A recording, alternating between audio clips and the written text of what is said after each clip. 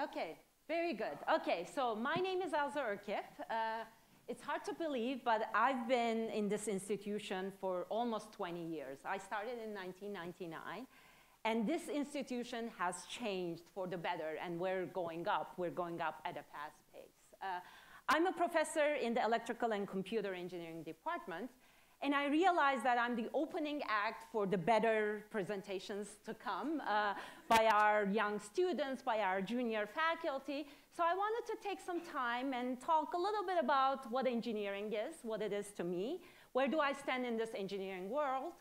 And I also wanted to give you a flavor of some of the projects that we've been doing, uh, particularly looking at networks, understanding and engineering networks, from wireless networks to social networks.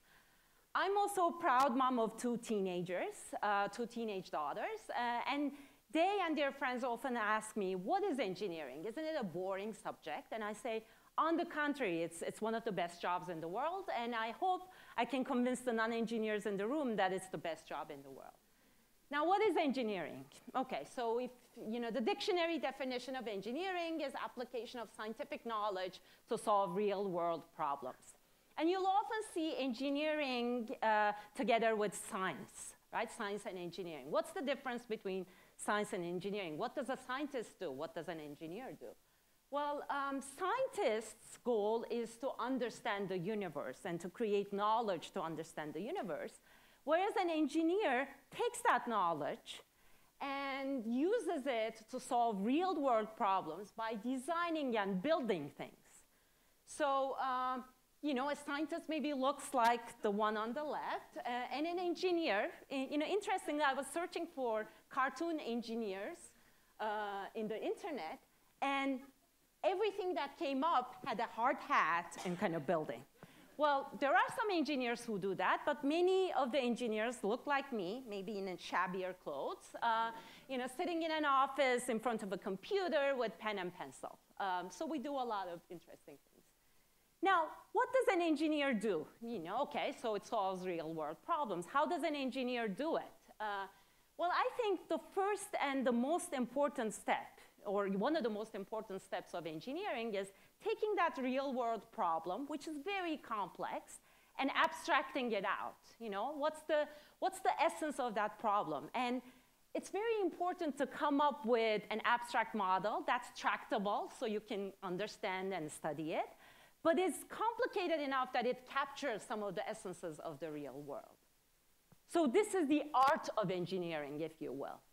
Uh, now, once you have a good abstract model, the next step is to understand that model and come up with solutions. And an engineer has a lot of tools at her disposal, uh, such as um, you know, many scientific fields from biology to physics to chemistry, and certainly math, a lot of math you know, which is what makes it fun, uh, to uh, understand um, this abstract problem and devise solutions taking into account practical constraints. Now, practical is very important here. We just don't want to come up with any solution.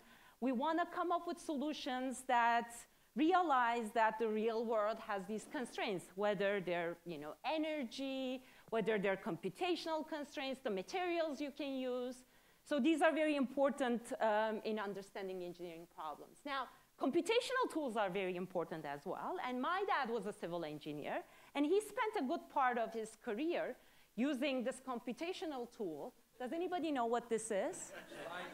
Yeah. So my dad used to go on and on how he would kind of, um, you know, compute uh, using slide rule. I never got to see them, but uh, you know, I certainly use computers and, and more and more sophisticated computational tools, which we call artificial intelligence, machine learning. These are all the tools at an engineer's disposal.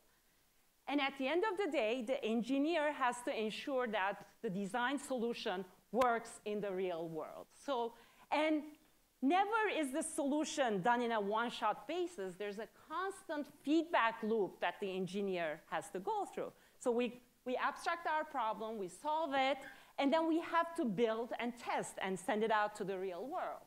Right? And the real world tells us that our solution works in certain ways but doesn't work in certain other ways. So we have to get it back to our engineering domain, this abstract domain, refine our model, refine our solution. And rarely this is done by one person. It takes a team of engineers to do all of this, right? And it takes a team of engineers to communicate within uh, the team, but it also takes the team of engineers to talk to people who have this real world problem. So engineering involves art, it involves communication. Certainly communication skills are very important. That's why it's the best job in the world. And it involves math. I love math. okay, so what do I do? Where do I stand in this engineering world? Um, now, in high school, you know, as you realize, you know, I was a good student, I loved math. Uh, but I didn't want to be just, I, I shouldn't say just, but I didn't want to be a mathematician working on pure math problems. I wanted to use math to do things. So engineering was the natural choice for me, and I went into electrical engineering. And, and my area is, can be called in general networks. And I stand more on the side of abstract modeling and solving uh, problems using that abstract model. But I also collaborate with many other engineers in understanding the practical problems, practical constraints. And once in a while, we'll go out and build things um, as well. Um, so certainly I have physics and I have a lot of math at my disposal, but also a lot of the computational tools as well. So today I want to give you a flavor of the kinds of things that I've been working on. Um, and I want to kind of give two examples, one from wireless networks, uh, which is an area that I've spent uh, throughout my career. I want to tell you an, um, an earlier uh, work that we did when I started my career at NYU, which kind of really jump-started my career and went on for uh, for almost two decades. And I want to tell you a little bit about social networks, um, in an area that we've started getting into recently. Now, before I tell you about my work, you know, I want to tell you how your phone works, right? You know, 30 second introduction to wireless, wireless 101. Well, um, so any wireless system is going to follow um, a certain kind of infrastructure. And the way it works is that there are base stations, or if you're using Wi-Fi, there are access points that your phone communicates with. So whenever you want to make a call, your phone connects to a base station, and then the base station takes um, your signals wherever they need to go. Similarly, if you want to download a YouTube video on your phone, you'll receive it over the wireless link uh, through your base station. So if I wanted to text Yelena, we couldn't do it directly. It has to go through the base station. And that's the basic uh, uh, structure that all wireless networks um, abide by.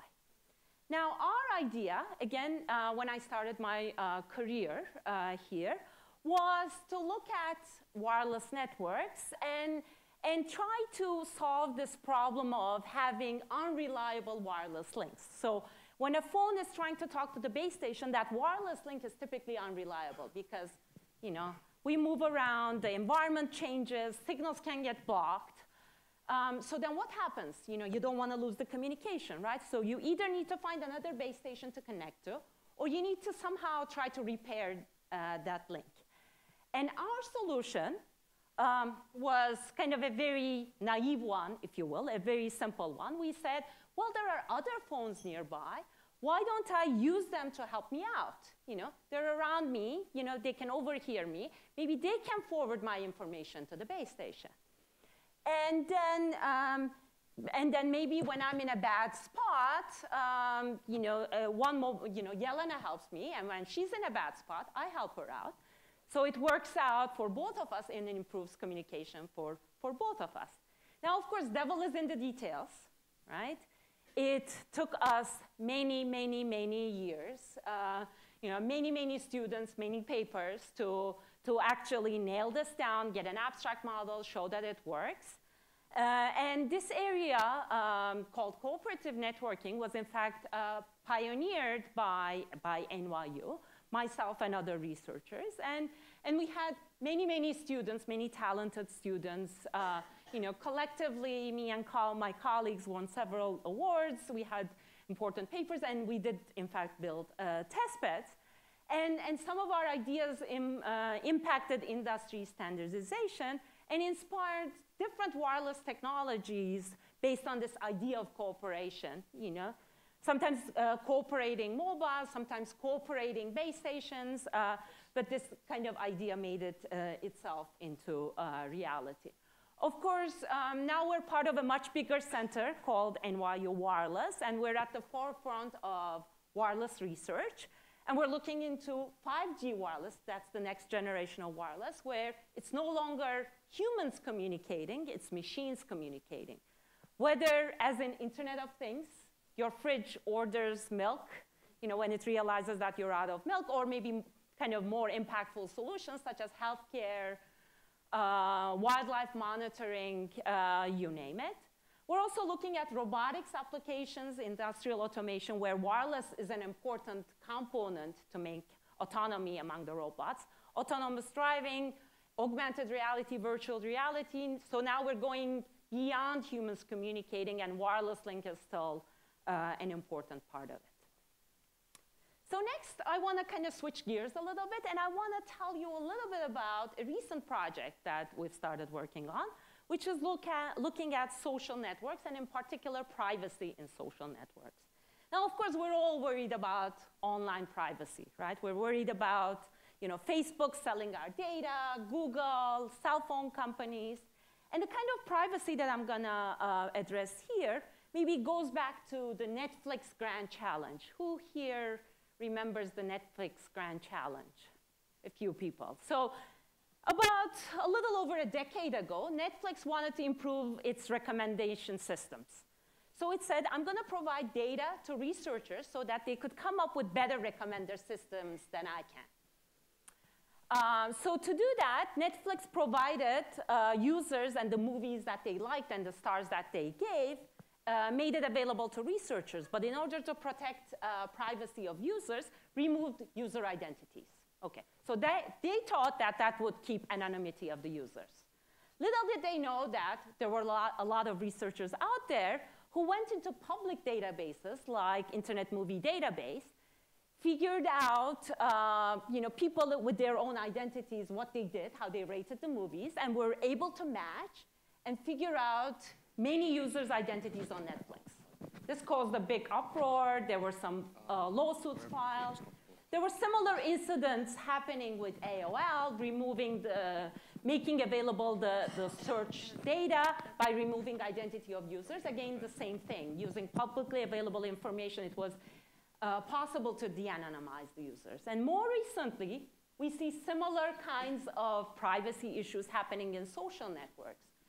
Uh, we all have our um, professional identities on LinkedIn, right? We also have our personal social networks such as Facebook, Instagram.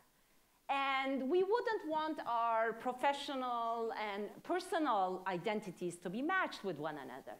But it turns out that it's not too difficult to match identities across social uh, networks. There's been uh, you know, several uh, researchers showing that this is possible.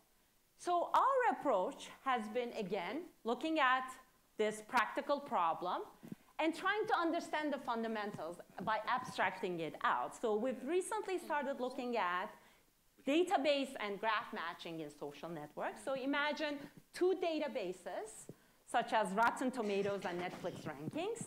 In one database, you know the identities of the users. In the other one, you don't. But certainly, there's, a, there's some relationship among these two databases. Similarly, you can envision two social networks. In one, you know the identities. In the other, you don't.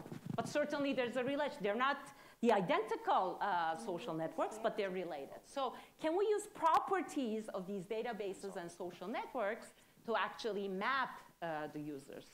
So what we're doing is we're coming up with tractable yet realistic mathematical models. We're trying to understand some of the fundamental limits and algorithms. In particular, when can you match the users? And that's not a good thing, right? So how do we protect anonymity if we don't want users to match, uh, to be matched? Maybe we could add some noise, but we still want to maintain the usefulness of these databases. And then we're also thinking about good applications of this you know, maybe matching these databases uh, could be desirable. My husband is a cancer researcher, and he says that one of the important problems they face is that they have a database of childhood cancer survivors, but they cannot uh, constantly monitor all of them, right? And they have a database of adult cancer patients, right?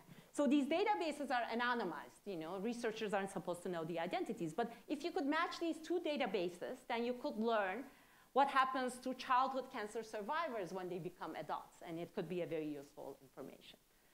Um, so I hope I've kind of managed to convince the non-engineers in the crowd that engineering is an exciting field. Uh, it involves artistry, uh, it involves uh, communication, it involves a lot of technical tools, uh, but it also involves talking to a lot of people. And with that, I'm uh, happy to take some questions. Thank you.